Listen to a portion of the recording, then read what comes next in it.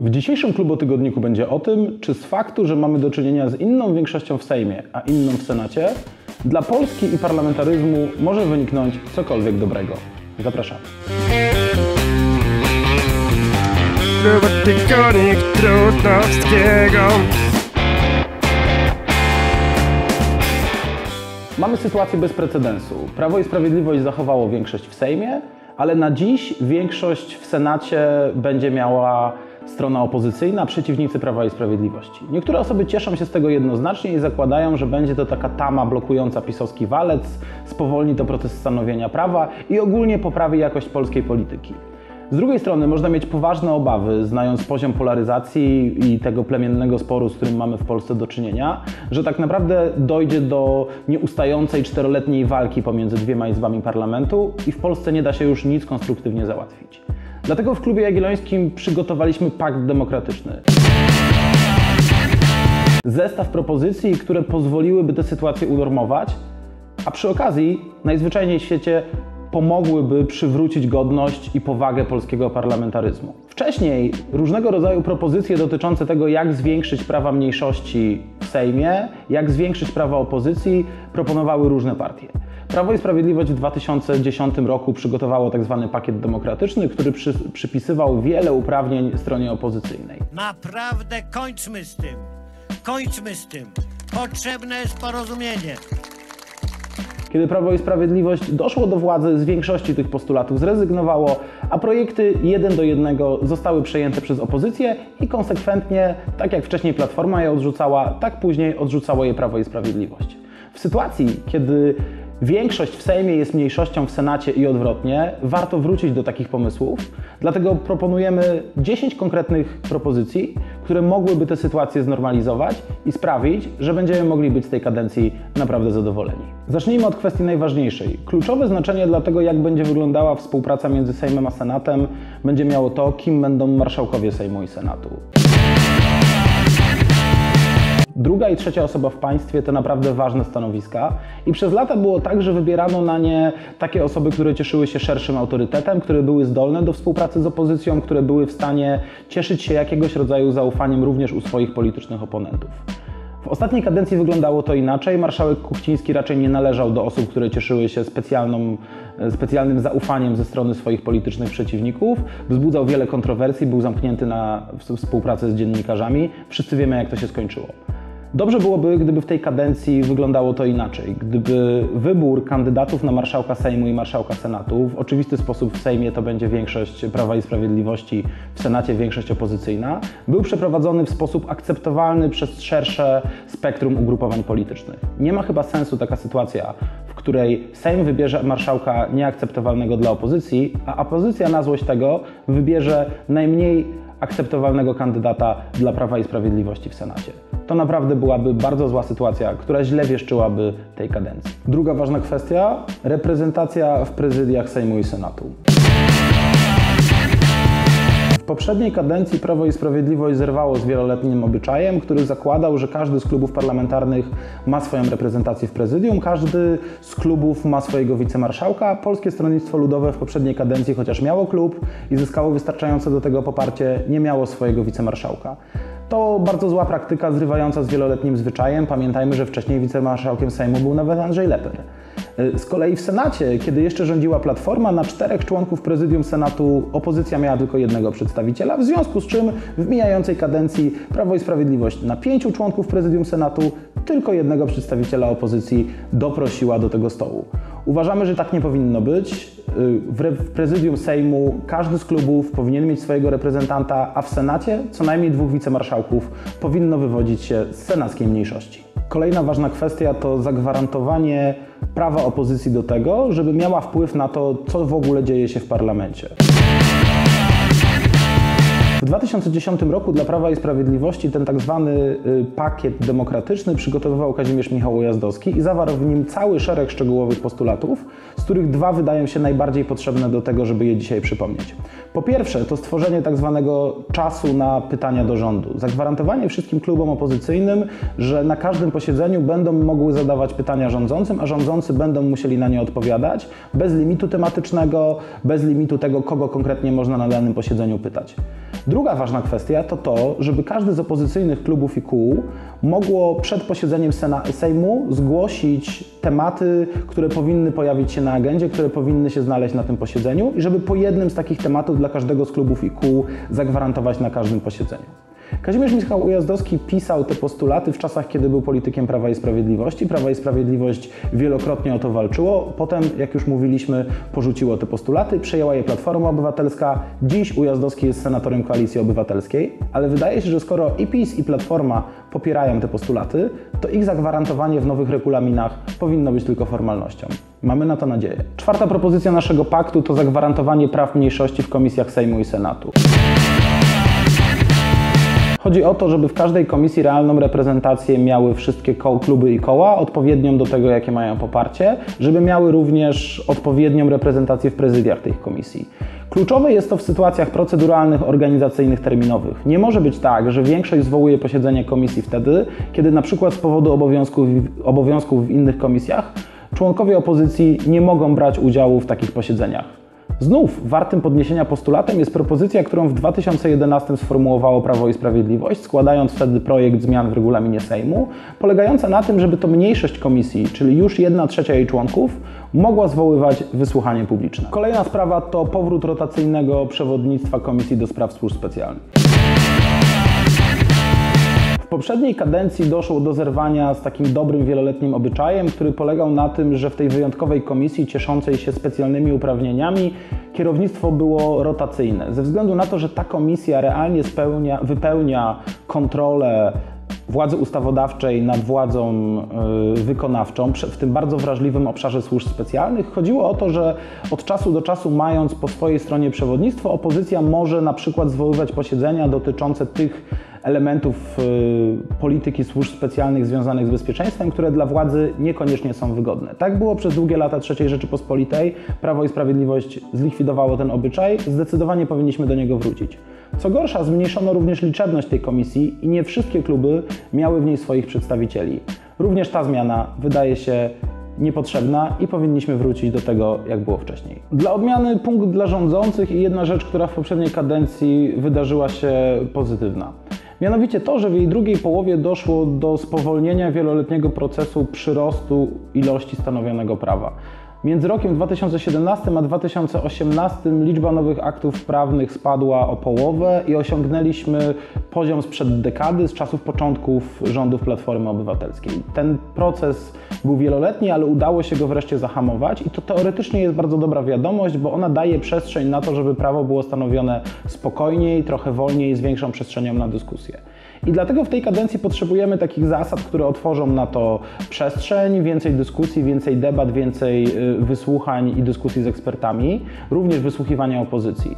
Problem polega tylko na tym, że opozycja może w Senacie chcieć y, prowadzić permanentną obstrukcję. Na złość rządowi odrzucać każdą propozycję, która przyjdzie z Sejmu, tylko po to, żeby wydłużyć proces stanowienia prawa, tylko po to, żeby ona musiało wrócić do Sejmu, tam zostać kolejny raz przegłosowane, bo wiemy, że taką większością Sejm będzie dysponował. Dlatego powinno dojść do takiej zdrowej umowy. Nie dla obstrukcji, tak dla dobrego procesu stanowienia prawa. Dlatego rządzący powinni zrezygnować z różnych pokus, które przez wiele kadencji y, były dla nich oczywiste, kierowanie projektów rządowych na ścieżkę poselską, wykorzystywanie y, trybu pilnego i różnych kru- kruczków prawnych, które są w regulaminie tylko po to, żeby błyskawicznie przegłosować jakąś ustawę, ale jednocześnie opozycja powinna zrezygnować z tej pokusy, by przy każdej okazji rządzącym w Senacie zrobić na złość. Czas na siódmy punkt naszego paktu demokratycznego. Postulat, aby parlament był parlamentem naprawdę otwartym. Wiemy, że w poprzedniej kadencji wiele złego się w tej sprawie wydarzyło. Ograniczenia dla dziennikarzy, barierki wokół Sejmu to tylko taki symboliczny tego wymiar. Ale też w czasach prac komisji i w tej i w poprzednich kadencjach wielokrotnie było tak, że aktywni obywatele, społecznicy, przedstawiciele ruchów społecznych czy interesariuszy nie mieli szansy faktycznego udziału w pracach parlamentu tam, gdzie on teoretycznie jest przewidziany, że nie mogli brać udziału na przykład w posiedzeniach komisji. Nie może być dłużej tak, że posiedzenia komisji są zwoływane ad hoc z dnia na dzień czy z godziny na godzinę, bo wtedy przedstawicieli strony społecznej tam nie będzie i nie będą mieli oni okazji przekonywać parlamentarzystów do swoich argumentów. Nie może być również tak, że udział tego typu osób jest właściwie do wyłącznej decyzji przewodniczącego komisji. Dlatego uważamy, że te kwestie również powinny zostać uporządkowane, a parlament powinien być bardziej otwarty na głosy ekspertów, interesariuszy, społeczników, bo po to one są, by prawo stanowione w Polsce było lepsze i bardziej służyło Polakom. Kolejny postulat związany jest z bardzo ważnym uprawnieniem Senatu, czyli wyrażaniem zgody na nominacje na różne bardzo ważne stanowiska. A innymi prezes Najwyższej Izby Kontroli, Rzecznik Praw Obywatelskich, Rzecznik Praw Dziecka, prezes Instytutu Pamięci Narodowej i jeszcze kilka innych tego typu stanowisk. Dzisiaj jest tak, że Senat ma prawdopodobnie większość do tego, żeby każdą taką nominację, która z Sejmu przyjdzie, zablokować. Jeżeli ona zostanie zablokowana, Sejm musi proponować kolejnego kandydata i może to tak dziać się w kółko. To znaczy, Senat może blokować wszystkie nominacje personalne, które przewiduje dzisiaj y, polskie prawo dla Senatu. To byłaby bardzo zła sytuacja, bo byłoby znowu robieniem na złość rządzącym, a kluczowe stanowiska byłyby konsekwentnie nieobsadzone. Dlatego wydaje się, że powinno dojść do bardziej konsensualnej formy wybierania tego typu kandydatów. Rządzący w Sejmie powinni konsultować z opozycją, kto jest potencjalnie do zaakceptowania na konkretne stanowisko przez Senat, a jednocześnie opozycja powinna wystrzegać się tej obstrukcji przy tego rodzaju y, nominacjach. Tylko wtedy nie będziemy mieli kolejnych kryzysów związanych z nieobsadzonymi stanowiskami i permanentną wojną między Sejmem a Senatem.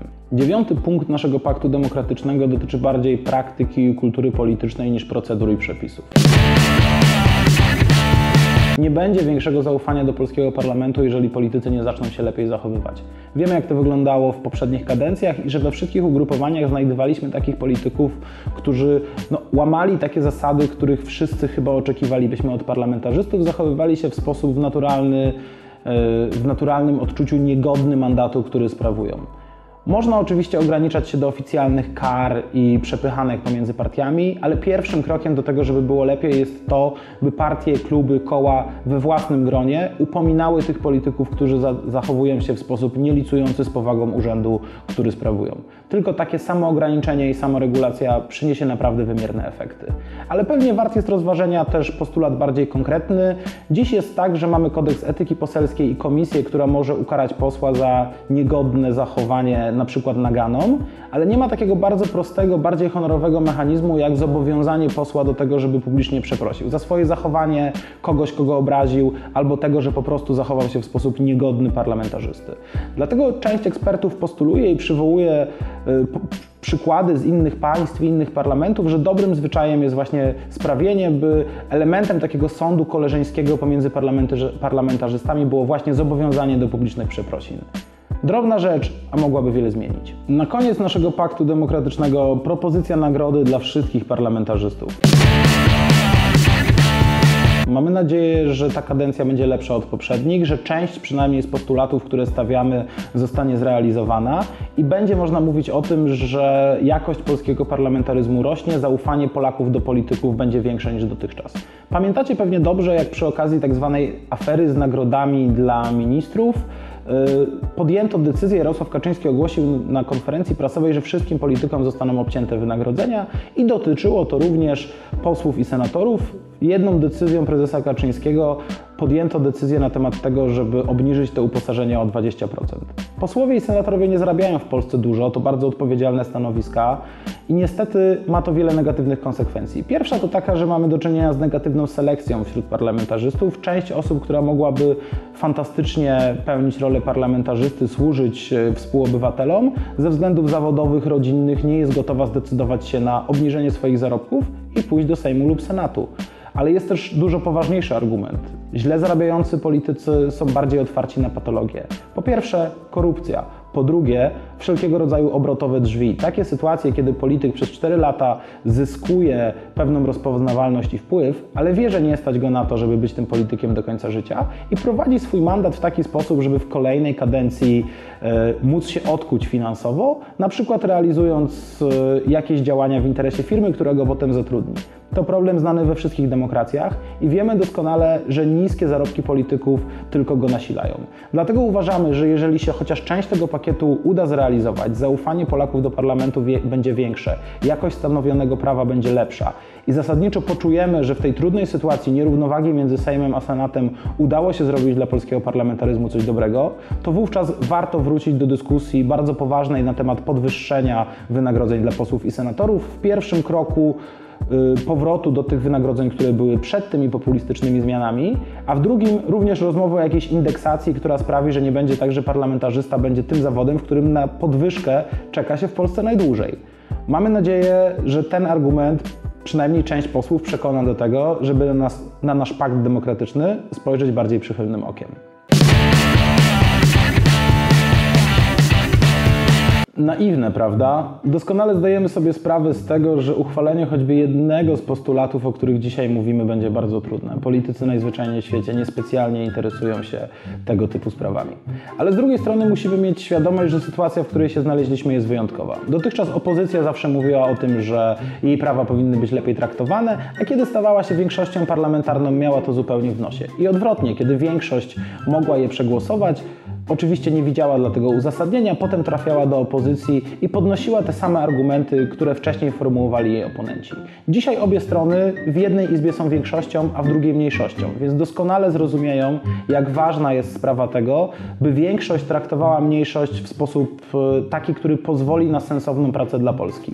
Bardzo tego potrzebujemy, dlatego uruchomiliśmy petycję na portalu Klubu Jagiellońskiego, w której zwracamy się do wszystkich parlamentarzystów, żeby rozpoczęli poważną dyskusję na ten temat i przystąpili do tego paktu demokratycznego, który proponujemy. Wierzymy, że znajdą się politycy, znajdą się partie, kluby, koła, które zechcą poprzeć taki sposób myślenia i być może którykolwiek z tych postulatów uda się w tej kadencji zrealizować. Dlatego bardzo serdecznie do Was apelujemy. Podpiszcie się pod tą petycją, udostępnijcie ją w mediach społecznościowych, napiszcie do posła, na którego głosowaliście, że popieracie taki sposób myślenia. Może ta oddolna presja sprawi, że rzeczywiście wspólnie uda nam się zmienić polski parlamentaryzm. Jestem przekonany, że te wybory pokazały bardzo ważną rzecz. Polacy pokazali czerwoną kartkę dwóm modelom polityczności. Po pierwsze, pokazali czerwoną kartkę totalnej władzy. Jak wiemy, Prawo i Sprawiedliwość zyskało kilka punktów procentowych mniej poparcia niż wskazywały na to wszystkie sondaże. Jestem przekonany, że wynika to z tego, że wielu Polaków, którzy zasadniczo chcieli, żeby PiS dalej rządziło, chciało pokazać, że nie akceptuje sposobu, w jaki Prawo i Sprawiedliwość rządzi, choć zgadza się z kierunkami, które e, zostały podjęte. Chodziło o to, żeby ten pisowski walec nie mógł jechać przed siebie bez zastanowienia, żeby jego kierowca musiał od czasu do czasu spojrzeć w lewo lub prawo, spojrzeć na swoich oponentów i zastanowić się nad tym, czy aby na pewno wszystko robi w porządku. A jednocześnie opozycja po pierwsze przejęła Senat, a po drugie w tej formule, w której nie była tylko antypisem, ale przedstawiła szeroką ofertę ideową, zyskała szerszą, szersze poparcie niż mogliśmy się tego spodziewać. Polacy nie chcą ani totalnej władzy, ani totalnej opozycji, chcą polityków, którzy dla dobra wspólnego umieją ze sobą współpracować. Dlatego z Waszą pomocą mamy nadzieję, że uda nam się w tej kadencji zrobić coś dobrego.